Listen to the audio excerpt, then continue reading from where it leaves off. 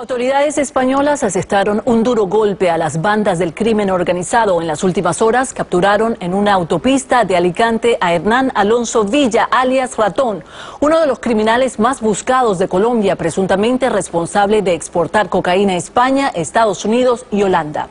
Según las autoridades, Villa, de 40 años, tenía más de 200 empleados a su cargo y controlaba el narcotráfico en el departamento de Antioquia, así como las rutas de exportación de cocaína lo vinculan con más de 400 asesinatos.